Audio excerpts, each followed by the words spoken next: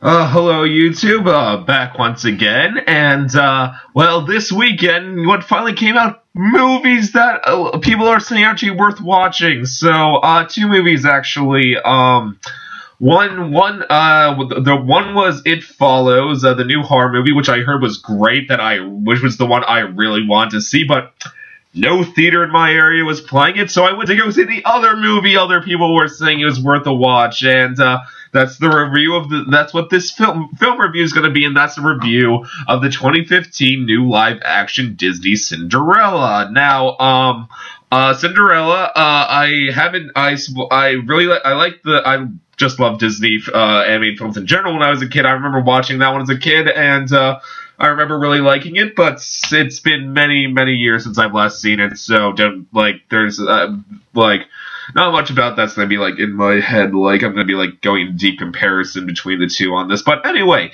um, now uh, first before we get to the review though, I feel like I should talk about the short film that starts before this movie, and I do like that. I like how Disney's brought back the short film before uh, their animated features, I, uh, or just now uh, just their features. I like how they brought that back. Uh, but this one is a special one because I know there's gonna be people just gonna go see this movie just for this short and this short only because it it because you know what the short is it is the Frozen Fever a short continuation of the story of Frozen. Now I was a huge Frozen fan when it came out. Thought it was a great uh, reach. Uh, great comeback for Disney. Uh, and uh, yeah, and I did not just see this movie to see that, but I know there will be people who will. So I thought I will talk about it. Uh, now let me just say right now, if you're gonna go see it just for it, see Cinderella just for that, don't. It's it's not very good. Like um, it really does feel like they just uh, made this short because um because they were they thought it would get more people in the in in their seats, which I'm pretty sure it will. Uh, because um.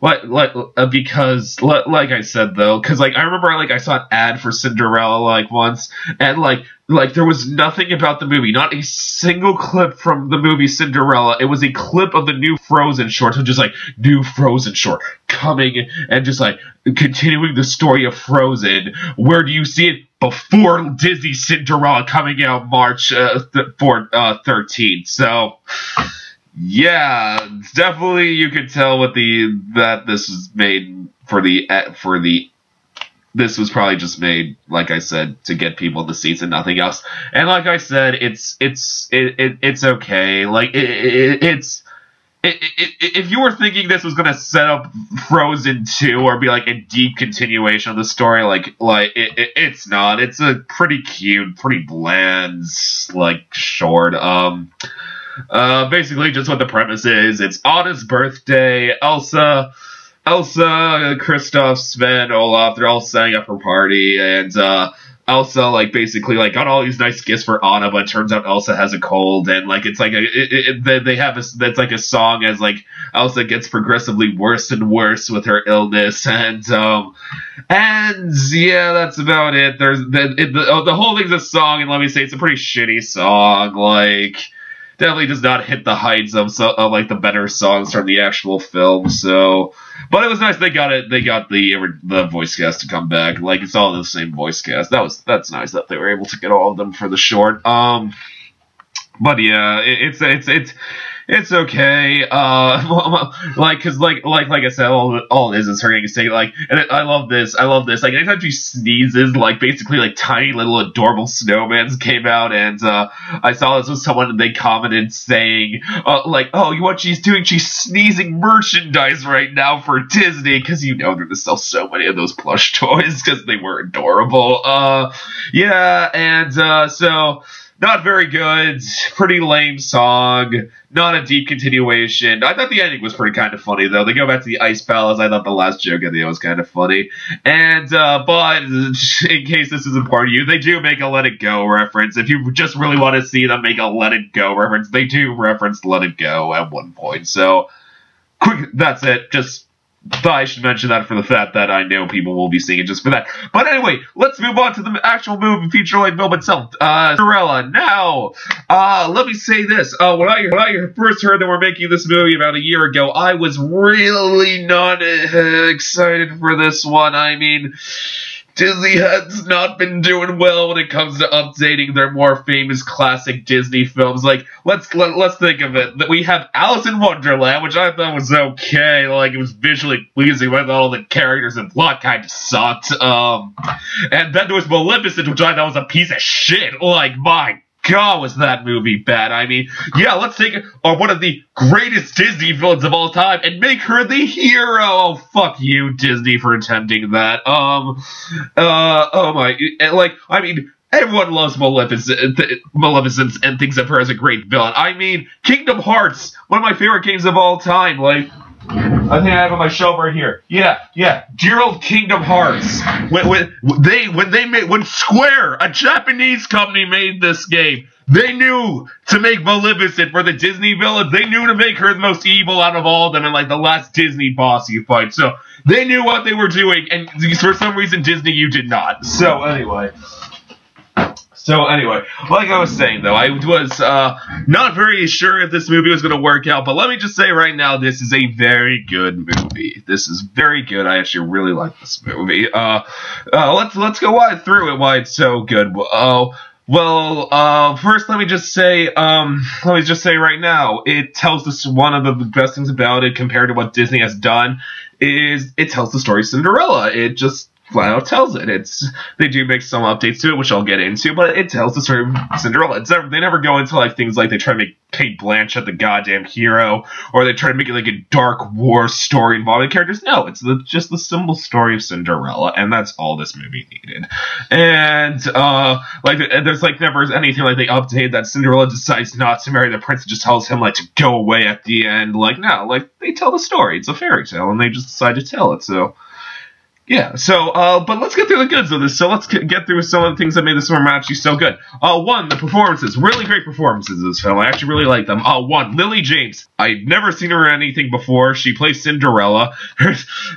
Strange thing is, Cinderella, her name is not Cinderella in this movie. Her name is Ella and someone calls her Cinderella because she has cinder marks on her face. I mean, I mean ash marks from cinder on her face, and that's the only reason she's called that. Um, I don't. I think she only calls herself that once in the entire film. But uh, yeah, but uh, Lily James as Cinderella has hasn't. I have not seen Lily James in anything besides it. I thought though she was really great in this movie. I thought she was really charming, really nice, had a really soft, pleasant voice.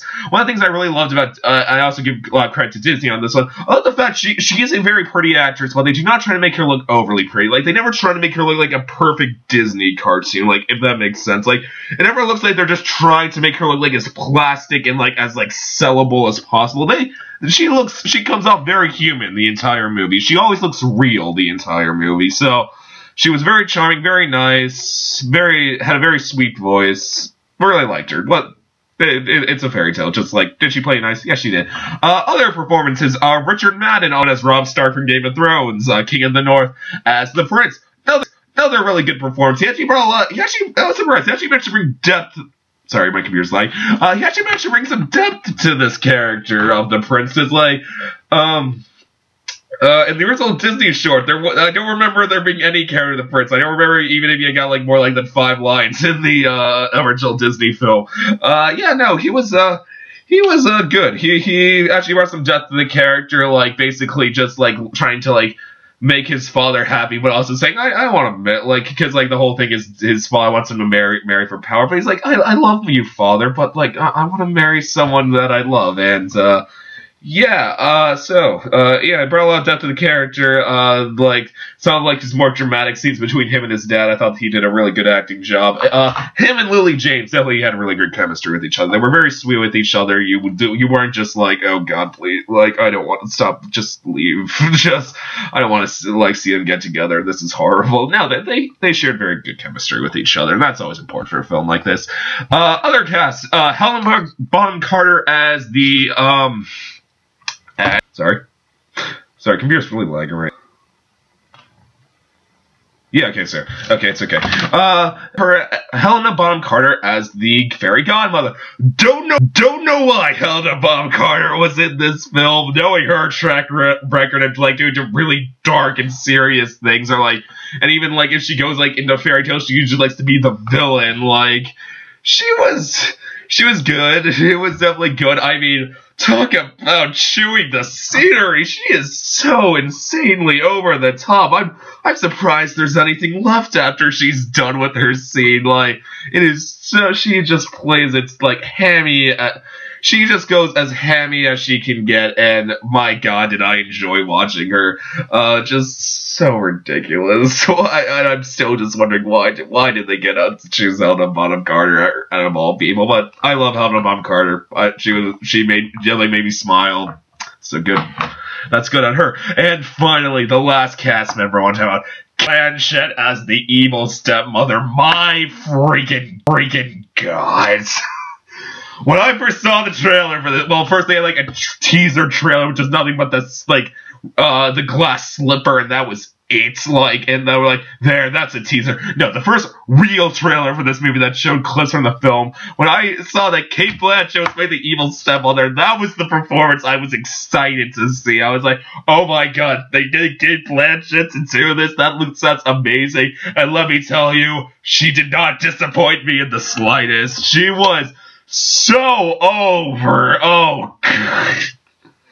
I heard some people complain that she's a big cartoon. Car- she's too much like a cartoon. That's what I love. She wasn't just a cartoon. She kept striking a balance between being an all-out cartoon and being deadpan serious, like in this movie. Like, I think she does a maniacal laugh like five times in this film. There's five times when she just starts maniacally laughing at what she's doing, and she is so evil. Her, uh, she is so insane. Uh, there's even a scene. There is a scene where like Cinderella like goes up and like she's like looking for the glass slipper. She's like, it's not here. Then then you just hear Cate Blanchett's voice like looking for this. And like she's like Cate Blanchett's like sitting on a chair like and you only see the shot from behind. Like the rest of her is in shadow and she's like and she's just holding it like this, like ha ha ha. It is so insane. Uh, so let me tell you, Cate Blanchett was my highlight of the film. She was so over. She was so great. Um, yeah, uh, yeah. So, um, th- that's another thing I love. Uh, uh, so that's the performances I I wanted to talk about. Uh, other things I want to talk about is one. I thought there was really good update to the story. Uh, and like I said, it didn't do the goddamn Maleficent route, like when like they basically just fuck with the entire story and say there's an update. No, uh, there's just some good updates. Uh, one one, I know a lot of people have again uh, complaints with the original Cinderella in terms of message, like the, how it kind of like supports laziness. I never got that from the original, like when I, when I watched as a kid. I was, I was like, just like accept like the pain sometimes and just try to keep an upbeat attitude and like maybe one day you'll get a break. And but no, a lot of people just saw it as a very lazy kind of just a story of laziness. Like if you just sit around all day, like like you'll finally get what you want. Um, but I never took it that this film though it clearly updated the message to yes just be kind be nice and some you know, some someday the world may reward you. That is the clear update message of this. They say it multiple times that uh, just try to be basically just try to be a good person and maybe something good will happen.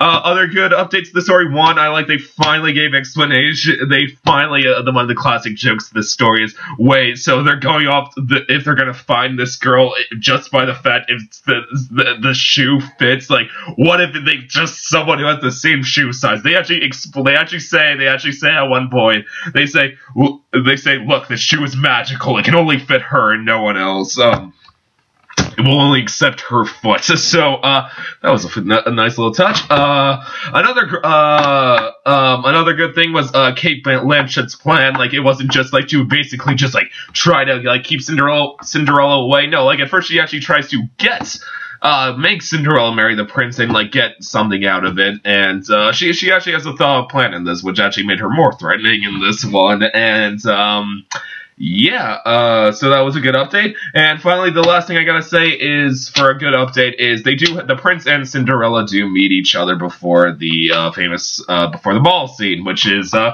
which was a very good update because a lot of people who look at the Disney short now say, "Wow, this is actually a really fucked up story when you think about." it. I mean, this guy is just going deciding to dance with this girl solely on her looks and then decide to marry her off of that. No, like they, they meet before, so when he and he and he does like her and he um he uh and he based so when she sees her at the ball he's like I, i'm dancing with you. Uh but and, and it feels it makes more sense. And uh oh one of my favorite lines in the entire movie there's even a line when the king's like you know you want to marry someone you only had one conversation with? He's like well that's one more conversation that i have with anyone else in the ball with before cinderella gets to the ball. So i really like that. Um uh, two minor other great things is uh, another great minor thing is the visuals. This is a very visually pleasing film. Great, great, very. Whoever did the costume and set design did a fantastic job. Just so many soft colors, so many. So many nice, soft, warm colors. So many nice, really fun outfits.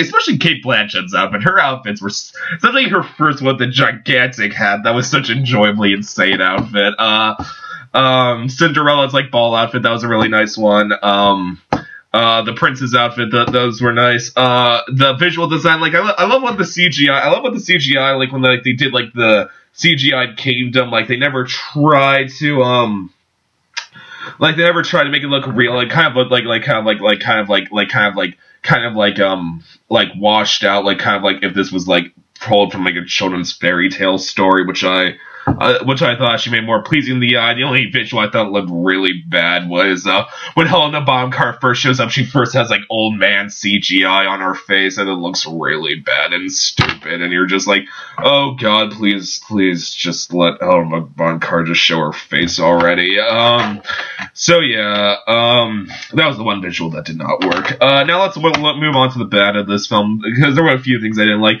One was the stepsisters. I thought the stepsisters were pretty bad in this film because with Blanchett, she was a cartoon, but she, like I said, she struck a balance between being deadpan serious and being a cartoon. The stepsisters are just straight up cartoons, and they get way too, way too silly, way too stupid, and you're just like, and I would just like, please shut up and just let Blanchett talk instead. Like, um, so I, I, I, did not like those two. I thought they were way too over the top stupid. Uh, and um, um, uh, and uh, the other major thing I gotta say about this film, part this isn't really a complaint, but like if you see this movie and you're uh, at this time, this wouldn't be a complaint for you. You must be in the right mood to see this movie. You must know what you're walking into with when watching this. Like, and you're not in the mood for like sweet Disney magic because this is a very sweet, very charming film. If you're not in the mood for that, you will hate this movie. You will despise this movie. Don't walk in and watch this movie if you want anything but that, or this will be the worst for you. Just know that. Um. Oh, and and another complaint was no one got their cut foot cut off to fit the shoe. I mean, after Into the Woods, I so wanted to see that happen again, but oh well, Disney, you blew it. I'm just kidding, but would have been happy to see that again. Uh, and just some quick side notes. Um, one of the weirdest, one of the weirdest thing about this movie when getting the credits, Cate Blanchett got top billing in this movie. I guess maybe she only agreed to do this movie if she got top billing. Glad they were agreed to do it because, like I said, I love Cate Blanchett. She was my highlight of the movie, but uh yeah, it, it, was kind of jarring when it said Cate Blanchett, then the actress who plays Cinder, then the title actress who plays the title character, then the prince. That that was kind of really weird. Um, another thing I should note, uh, if you're think if you're gonna if you're thinking about like this will be exactly like the cartoon going in. Uh, another thing, the animals do not speak in this movie, which I do think is for the best. They do not speak. They are CGI, but Never say a word. Uh, they kind of they did like the mice just make like kind of like cartoony mice, like sweet sweet like things like that. Um, oh my god. Uh, oh, and I must note, uh, the first thirty, like about the first thirty, it takes like in this movie like twenty five minutes to start the story of Cinderella, like we all know, like with like her being like essentially a slave, uh, or yeah, and um it takes about like 20 minutes, 5 minutes to get there. Before that, just kind of development when it shows Cinderella with her mother and father when she was a kid. And uh, my god, the mother of the the the the death of the mother that was almost surreal how it happened like everything is so happy so bright that then she's just like oh and then they just kind of like well she's like good night cinderella and they're like and then like and then they kind or ella her name's ella. Uh they, they then like her and her husband walk out and then she's like oh my heart and then just and then dies. I was it was surreal let me tell you. Um and uh and a final note uh if you came here wanting to hear the original songs from the uh disney cartoon not in this movie. Uh, they, there's no singing in this movie except for one scene. There's one scene that kind of has singing. Um, but there's no like big musical numbers or anything like that. Uh, but uh, at the end of credits, it has all the actors of this film singing the songs from uh, the Disney film. So if you want to hear those, wait till the credits. It shows up, and uh, yeah, that's all I gotta say. So really, so uh, all I can say is for a final rank, I'll give this movie a solid three and a half out of five stars. I really did like this movie. It really made me put gave me made me feel warm and happy inside. I enjoyed sitting through this. I'd say I'd say if you want to see this, go see it. If you're like if you're mood for a Disney jo- like Disney magic and all that, definitely go see this. Like it de- definitely brings definitely brings you back to a simpler and nicer time. So uh yeah, uh, really good movie, and all I can say, for, I know I sometimes forget to say this on my channel, but uh, please subscribe. Uh, yeah, every subscriber helps, so please subscribe. I'm sorry, I sometimes forget to say that in my videos, but yeah.